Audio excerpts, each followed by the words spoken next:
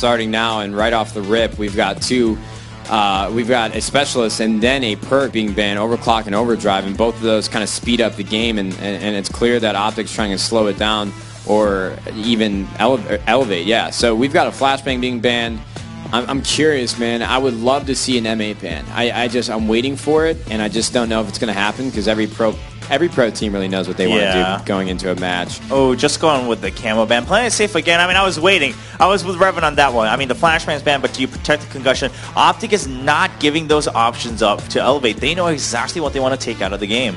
Yeah, it, it's still like picking bands is it's one of those things where they normally stay the same. I was actually surprised that we got to see some rapid fire uh, in that search and destroy of all game types to have rapid fire available. We got the RC car getting banned as well. So I mean, really, there's no point in any players running with flak, no tac mask. So we're gonna see some some movement heavy players with their perks. Yeah, I mean, it looks as standard as can be once again, especially from Elevate side, Revan. That's what you were talking about. They're missing their chances to throw Optic off their game. Yeah, I agree. Once again, the Shieva makes it through. Maybe we'll see that come into play on a map like Fringe. Of course, those long range of sights the Shieva can really dominate. But also, we might see some smoke grenade action here on CTF. That's true. It did go through on the protect and ban phase, so the smokes are still alive on this capture the flag. Revan, what are your key points on this map specifically for this mode? All right, so I think this map is a lot about how you react when you're going to be on the overextension. So when you're attacking this flag, the other team's main spawn is going to be over here near this auto area. And of course, it, it could seem easy to just rotate back, but when you have a player maybe set up on this grandma's roof who could get a direct line of sight on you exiting, you're kind of like, well, now we have to overextend all the way through auto. And sure, you have some options. Do you go through back alley? Do you go through bricks, middle map, or go through the side door here? You have some options available to you, but you get a well set up player maybe over here at this back truck, and he could cut off all these different avenues that you have available to you. And that's where we might see the smoke grenades come to action. So when you're pushing back through auto, if you're able to maybe smoke this player out, now this route that I drew towards back silos, it looks a, a lot more friendlier, a lot more easier to manage. And on the other side of things, when you're going for the flag that's right here outside barn, you don't know where the heck those defensive players are going to be because, I mean, just look at this. They could be anywhere behind that arc I just drew. So if you just drop a smoke right on the flag, You casters and you your smokes. You could go right through the barn smoke. You will and not go see a smoke on this map, I promise. Again? You know, you said that last time, and Looney was using smoke. No, smokes. no, no, no, And no. I, I bet your boy Scumpy over there is going to be using smoke grenades. If Scump's got a smoke, I will. What will you do, Nate? Choose your Hey, words listen, if carefully. Scump is using a smoke grenade, you have to give me a follow five on Twitter. yeah, I don't even think that's. Well, worth just play for your own benefit. You guys are both greedy as hell. All right, well, we're going to move on to the game. Because you guys are Scump's only not- playing let's not talk about what you benefit. do, if, Cho. Scump's, if Scump's not using smoke, they gotta buff the Weevil even more. All right, that's, That's the deal you got to make with Bondar. Or I'm okay can't with that, control though. I that. love the Weevil. Well, smokes or not right now, Elevate needs to find something to win because they followed suit in banning out that concussion and taking out those things that can actually give them that mental edge against Optic. So we'll see. Can Optic close out the series 4-0 to face Rise in the grand finals this weekend in the Call of Duty World League presented by PS4? Or is Elevate going to make that battle a little bit harder? We'll find out as we go into the game with Courage and Mr. X. Nate is yelling about buffing the Weevil, and I see David Vonderhaar about seven feet to his right. I'm ready to just see him jump on stage and attempt to strangle out Nate. it's, obviously uh, WrestleMania. I mean, it would, it would just card, make sense, right? It, it Yeah. would fit in with everything No, else. Look, there Nate, Nate just had to run off stage right straight in there. front of the camera. He's, he's trying to get away, and now Von hops off. But no, Man is reckless. As we get into this game four, it's Elevate down 3-0. Their least of their worries the Weevil getting buffed right now. As No. they've got an Optic Gaming squad who's getting it done with every weapon that they use. Matt, do we see a game five? No. We don't. Wow. Okay, you I'm pulled the just rep. gonna be You pulled the rep in there. with the way with the way we've seen Elevate play, I'd be shocked. And I, I think it's a little bit to do with the way Elevate's play. They haven't looked as good as they've looked in the previous few weeks, but I think it's more you know, Optic Gaming really coming to life here. Well, off the start of this one, it's going to be formal, getting right into position at this white truck, and well, he just got blown off the map. Crimsix left last alive. Pressure coming in from all different areas, doing what he can, but not going to happen. Nice for dead momentarily as Elevate are already in Optic Gaming space. It's going to be Vicento starting huge here. Picking up four kills right off the rip. He's getting close to that lightning strike, and it's actually going to be Aqua behind him. He's going to pick up the flag. Into caught on that corner for a second. He has one player from Optic trailing. That's going to be Krim. He is home free. All they need to do is watch that back alley, and it looks like Remy's in position to do so, and this is a cap. And more importantly, Vicento's going to get streaks off of this as well. Great start from Ooh, actually, it's Vicento. 25 off, so- 25 off. Definitely going to be something to watch. Look at Aqua still putting pressure on Optic Gaming. Finally, they clear him out. Love seeing these smoke grenades from Vicento. Expect to see them be in use in this game. Really, you know, any good analyst would know smokes are very popular in CTF. Nate job. Let's see if Vicento's trying to make his way down tracks. I think he should just play this door, small corner door and just try and watch his players coming through. He's One able to pick up the streaks pretty easy, and he's going to get taken out before he can get his Cerberus, so that is huge. Would have liked to use the Cerberus on the defensive end. Could have opted to use it on the offensive side as well, but I think it would have been great on the defensive side of things. We've seen how good the Cerberus can be in hardpoint, obviously, but I honestly would be one to say that I think the Cerberus might even be better in CTF. You flop some trophies next to it. It can be just base It's defense for you, but as you say that, Matt, it's looking like a counter cap is developing. Aqua, the last chance. Not going to happen. Streaks do appear to be getting pinged. I don't know if they've dropped They use a anything as of yet. Hellstorm in the Okay, process. The Hellstorm was used. Crimsix going to start running this one in. He's got teammates all around him. This is going to be home free. Yeah, this is a cap for Optic Gaming. They've tied the game up one to one. And I like the decision by Vicento not to use the lightning as well. He had that Hellstorm hovered over tracks. His teammates started to drop. He tried to cluster it and take out one towards the end, but opts to not use the lightning strike. I think you save that. CTF, you don't see you know, a lot of high scores from either side on this map. I think you can use that lightning strike in the last few seconds to create an opportunity for Elevate to steal this one. Scump now positioned in top barn. You can see this is his position, right? He said multiple times in interviews, even in listen-ins, when he gets to top barn, he is not leaving this area. His teammates have to make the plays around him. He'll just be a nuisance be nice to the him to opposing leave it grab the flag. Uh, well, definitely that is that in is the one, barn, but, hey, he needs his ARs to try to clear out this back rock and back barn area. So far, hasn't gotten much help as of yet. Vicento gives away his position. Scump's still playing this top area. You'll see him for as long as he's alive in this spot. Yeah, the one for Elevate, uh, actually, this is a really slow play, to be quite honest. I was going to say, there's one player actually making a really nice flank here. And Crimson Aqua's going to Dart. come behind a few player. Krim actually is using his dart in the process. Aqua's able to take out two. It's going to take Oh! out Scump as well. Big three-piece from Aqua. Oh, he's going and for all now, four. Yeah, He's they're going to go four. on the offensive. He has one player directly to his right. Does not spot Formal. Good defensive play there by Formal. Gets caught in mid YY. Karma with the submachine gun trying to hold off that orangest side of the map. The blow push comes in. Beat down from Remy. It's a 1v1 in the Optic Gaming base. Remy going up against Scump. He wins that first engagement. Now more pressure beginning to come on in. Remy doing what he can to stay alive. He's in a great spot here, but he needs help, help, help from his team. Formal outpositions him there. Wins that engagement and stays alive at Globe.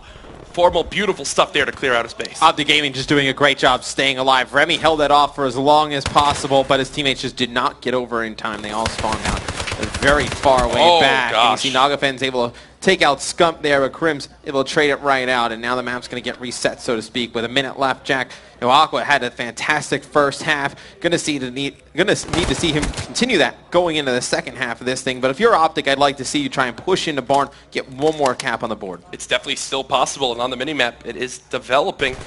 Players about to push in. One does hop in. Aqua and Vicento, though, pre-aiming both of those main windows. They get the kills, and, well, you mentioned you want to see one more push. It gets shut down.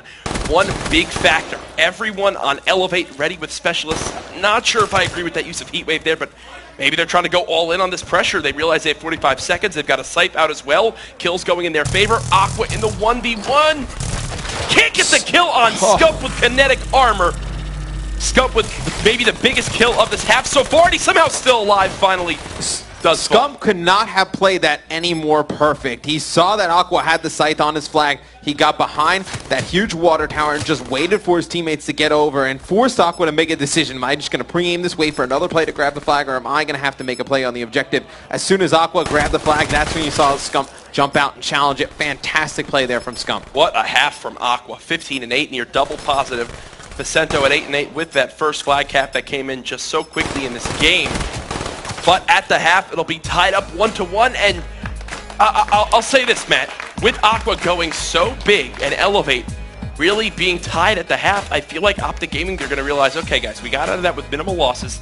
Let's really turn up for side two here. Make the statement series just like Rise Nation did against FaZe. Do you believe that Aqua has another half like that in him? Uh, I, I think I he does, but I don't know. I don't know. He no longer he no longer has a top barn window to shoot down from. That's what I'll say. I mean, who else is going to you know, really step it up? I mean, right now, it's been kind of slow from everybody on the Elevate side in terms of kills these last few respawns. going to need somebody else to come alive. I think Aqua can definitely have a pretty good second half, and I think you're really probably looking at Nagafen as the one If- most likely He might have an up. opportunity to go for a pull here, unless this player White Truck doesn't see him. And no, of course, it's Crimsix, right? He's, he's going to expect the player to push on in. Aqua left by himself in Optic Gaming's base. He'll get cleared out. And while the first few kills did go in favor of Elevate, it's it's really quick uh, a quick cleanup job by Optic Gaming. 30 seconds into the side two. There's a pull opportunity now for OG. Scump grabs this and runs down tracks, and they kill Nagafen. This is Cap. He's hesitating right now. He's hesitating. Now the flag has been pulled. Vicento sitting in this top granny's area. Definitely still an opportunity for Elevate to stop this one. Oh, beautiful Oh. streak from Vicento. That's three kills from him to clear out his base. Matt, you mentioned how you love the decision to save that streak for a later moment in the game. Comes in clutch right there to Well- stop that cap. And if you're an Optic Gaming fan, that's not the worst thing in the world. You baited out up the side of Elevate within the first minute of this second half, so they're not going to have that streak to potentially be able to make a play on the offensive side of things. So if you're Optic Gaming, you can't really you know, be too down on yourselves that that didn't turn into a successful score. You got to think, hey, we got that lightning strike out of the side of Elevate. Now we just got to convert that same play again. Vision Pulse is popped. They know where Naga is. He's only able to pepper two players before any kills come in. Heat Wave now being used. Remy left in the one-on-three to hold off his base. Oh, this is going to get tough for him. He, re- he recognizes that. Love that decision to drop on back, play this angle, gets one. Pressure now beginning to come in. It's a sight, can't win that gun engagement. Formal actually shoots right through two. Optic Gaming had pulled this flag, and they have an opportunity to run it on out. Vicento, the last hope, but he's got a VMP! Somehow gets one kill. He's going to buy his team more time. Peeks again with the submachine gun. Not going to convert the kill there, Matt. This is looking like a cap, unless Vicento could do something about it. And it actually was quite weird. Like, why did Scump take so long to actually pull that flag out of Grandma and over towards Yeah. tracks as you see Formal put it in? And I actually think they might have thought that another player on the side of Elevate had streaks, potentially Aqua or Vicento. So once they realized nothing was coming in, they were able to get that out. And you see Formal now getting that lightning strike. That's going to be huge with two minutes left. Kind of buys Optic the you know the insurance if they make a mistake that they have one of those streaks to potentially make a defensive stand. Yep, and, and one thing I will point out, if, if you thought this, this side's looked a little bit easier for the likes of Elevate, Aqua now 2 and 5, and as I mentioned, that Formal gets fully streaked out. He continues to impress on this championship Sunday, a major reason why Optic Gaming are about to eliminate Elevate in a 4-0 fashion. when he gets going, I mean, there's nothing you can do about it. When Nope. he when he's shooting like that and talking about formal, there's nothing that can stop this guy. I mean, such a smart player, you know, so accurate. You see, he's still on this streak, currently on a seven. He's gonna drop and see Karma. Gonna get taken out. Now Nagafen and Co. trying to make a play for the optic base. Krim goes big with the L-car. We've seen that a few times, Krim with the L-car secondary. Oh, here are the smokes. there's the You see smokes. Vicento throw one outside of barn, then he throws a nade. Potentially back players. Oh, look at that. He heat waves through it and tries to get out, No, but I it's think, formal able to take him out. Did he miss that heat wave completely? I think he popped it like a, a half a step too early. Now the, the Cerberus has been dropped. Oh, this is looking grim for Elevate fans. No one in the Optic Gaming base. Multiple streaks still ready for OG with only 90 seconds left.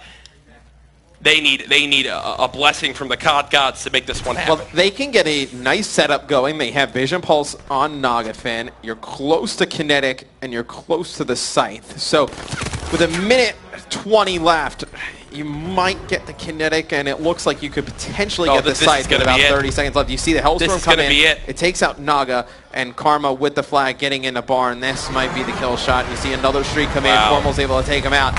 Optic Gaming puts a third flag on the board, and I agree with you, Jack. I mean, when it's only a one flag difference, you get some of those weapons and abilities and your potential to you know set up mid map and make a play happen. But now down two, it looks highly unlikely. Matt, throughout this entire weekend, we've had close matches. Game 7, round 11s. Really, we only saw 1 4 0 before this championship Sunday. But now both semifinals are going to be 4 0s. And guess what? It's the one seed versus the two seed for the champion spot in the COD World League Stage 1 in North America. Know, it's going to be Rise Nation versus Optic Gaming, and a lot of stories in this one. I mean, obviously, Optic, they're the number one team through stage one. They've proved today, obviously, winning this match, that you know, they are back. They are looking very good, and you know, they have a lot to prove, though, because Rise Nation, they've won both live tournaments thus far, going for that three-peat. It's a lot for both teams on the line. Yep. I think if you're uh, Elevate, you take this loss, and you know, obviously it's a, it's a pretty brutal one at the hands of Optic Gaming, but you played very well in stage one. You looked great in the series against Envy. Some things Wow. go differently in this series. You're able to potentially take it a little bit further, but it's Optic Gaming taking out Elevate 4-0, securing their spot in the grand final. OG make Elevate look like light work. They get it done 4-0. Matt, I'll be honest, people love the, you know, Optic FaZe Grand Finals and the storylines behind that, but Rise Nation have called out Optic Gaming. They said, we want to face them. We want to prove to everybody in the COD scene that we can be three-peat land champions and we can be the best on land, and here's their opportunity. Now, crazy stuff there. Optic Gaming make it look easy, and now our grand finals. Optic Gaming versus Rise. On the stage, we have Ashley with Scump. Ashley, take it away.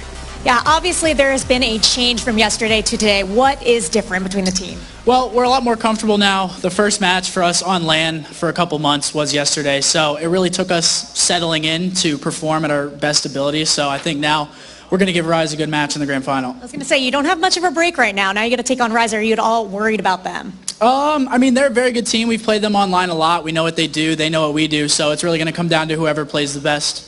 Well, thank you so much for stopping by. I'm going to let you get backstage, get warmed up. Will, we're going to take it back to you.